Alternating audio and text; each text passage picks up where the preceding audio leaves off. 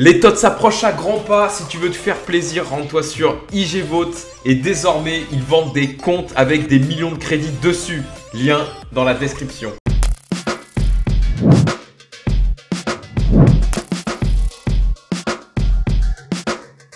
Les gars, on se retrouve pour une nouvelle vidéo. J'espère que vous allez bien. Mais écoutez, moi, ça va nickel. Et aujourd'hui, on se retrouve pour un projet, un nouveau projet organisé par OneFootball, l'application euh, que, je fais la pub depuis plusieurs semaines. Vous devez, euh, vous devez connaître maintenant depuis le temps que je mets l'intro.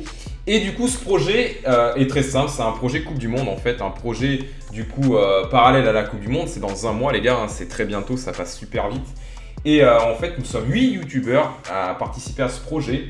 8 youtubeurs, 8 groupes de la Coupe du Monde, donc tu m'as compris, on va présenter un groupe chacun, on va se relayer chaque jour. Et euh, du coup, moi j'ai hérité du groupe A, comme vous pouvez le constater. Le groupe de la Russie, le groupe de l'organisateur, est pour beaucoup le groupe le plus simple de la Coupe du Monde. C'est vrai que c'est pas un groupe forcément relevé. Allez, on est parti, la Russie. Bon, bah écoute, hein, c'est pas comme si j'avais eu le Brésil en fait, la Russie. J'ai dû beaucoup me documenter parce que je ne connaissais absolument rien. Qu'est-ce qui vous marque en Russie, les gars? Moi, les phares Bogdanov, les poupées russes, les trucs comme ça. Mais honnêtement, le football russe, j'étais vraiment perdu Bien sûr, on a Lev Yashin que je vous présente directement. Euh, c'est une manière ludique aussi de pouvoir faire euh, cette présentation puisqu'on va partir en match après. J'ai placé Lev Yashin parce que c'est vraiment lui la légende du football russe en fait qui a marqué le football russe dans le début des années 50 jusqu'à la ben, jusqu'aux années 60. Ballon d'or en 1963, vainqueur de la Coupe d'Europe des Nations en 1960. C'est vraiment la période où la Russie a dominé le football. Après ça a été très compliqué. Euh, il a fallu attendre fin des années 2000 pour voir la Russie euh, pas trop mal avec Arshavin. Hein, je ne sais pas si vous vous souvenez, c'est vraiment le joueur russe aussi qui m'a marqué. Arshavin, Pavlyuchenko entre autres. Une année 2008 ponctuée par une demi-finale de l'Euro, ce qui est pas mal. Après, ça a été, euh, compliqué. La Russie s'est pas souvent qualifiée pour les Coupes du Monde. Une équipe qui est également vieillissante.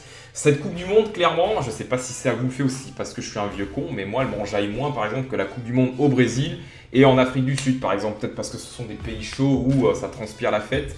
Mais c'est vrai que la Russie, tu penses tout de suite au froid.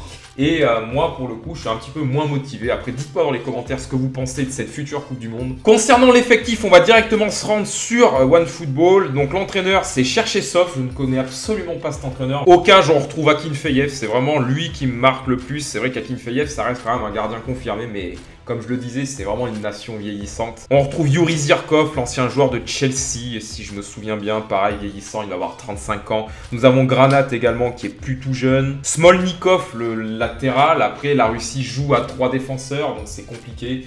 Tu retrouves beaucoup de joueurs russes, par exemple, qui sont confirmés dans leur championnat, mais qui sont pas pris avec la sélection. Les principaux talents de cette équipe, ça reste Zagoev, Golovin également, auteur du but contre Lyon, le magnifique but en lucarne. La star vraiment de l'équipe, ça reste euh, Fedor Smolov, qui, euh, selon plusieurs sources, serait en partance de son club, hein, le Krasnodar. Concernant le parcours de la Russie avant euh, le début de cette Coupe du Monde, il y a eu des matchs de prépa. Alors l'entraîneur a vraiment été strict, hein, à savoir l'Argentine, l'Espagne, le Brésil, la France. Ça s'est soldé sur trois défaites et un nul, donc ça a été compliqué. Mais bon, on retiendra quand même que euh, c'était des grosses nations en face. Donc bref, j'ai fait un 11 sur FUT. On va aller partir en match du coup, hein, découvrir un petit peu plus ces joueurs sous un aspect ludique. Ça va être compliqué, l'équipe est vraiment bidon. Et euh, du coup, euh, on va en venir au pronostic parce que je vais me jouer au jeu des pronostics. C'est un groupe facile quand même avec l'Arabie Saoudite. Enfin, quand je prononce le nom de l'Uruguay et de l'Égypte, je me dis que c'est pas si facile que ça parce que l'Égypte est emmenée par Salah qui est juste stratosphérique. Et euh, la motivation du joueur va forcément influencer celle des autres. L'Uruguay, c'est très costaud devant avec Cavani et Suarez.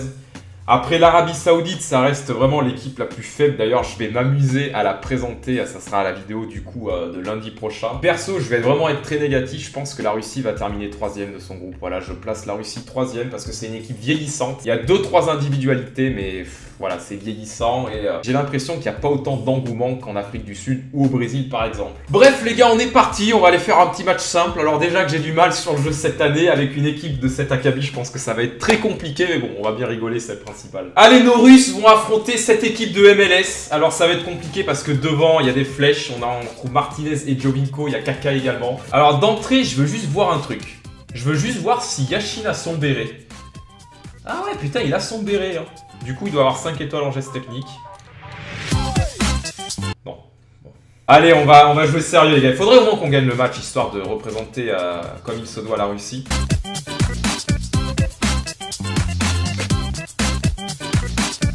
Allez, ça joue. On essaye, hein, on fait comme on peut, les gars. On essaye, hein, vous voyez, hein, j'essaye de bien jouer, mais euh, c'est dur. Le dribble. Mais les gars, appliquez vos passes, putain, mais vous êtes des joueurs pros.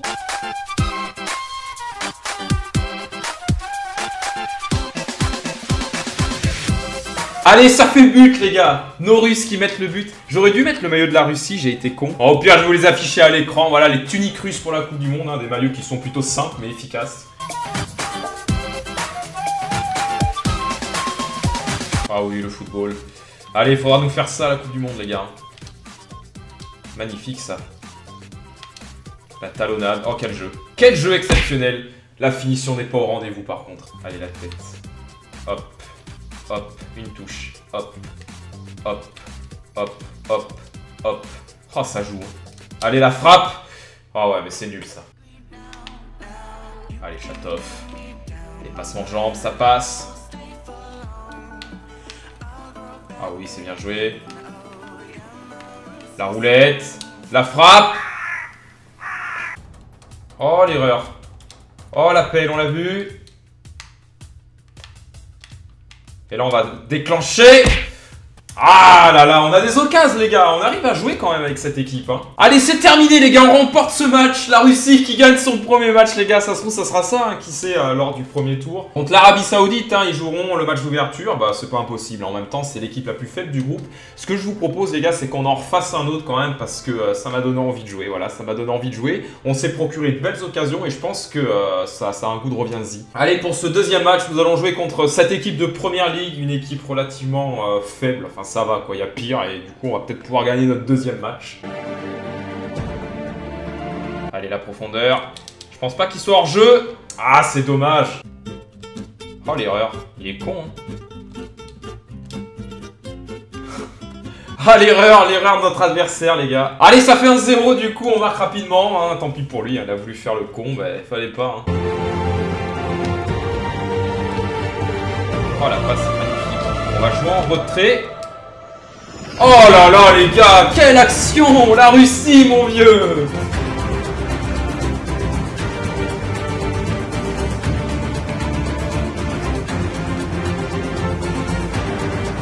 Et eh, ça joue les gars. Oh là là, ça joue hein et le mec va quitter en plus. Allez, c'est fini les gars, le mec arrache kick du coup sur cette belle victoire. Bah écoutez, assez surpris hein, par, la sélection russe dans le jeu. Franchement, ça va. Après, bon, on n'est pas tombé contre des mecs super forts non plus, hein, je vous l'accorde. Mais, euh, mais c'est sympa à jouer. En tout cas, j'espère que le projet vous plaît, les gars.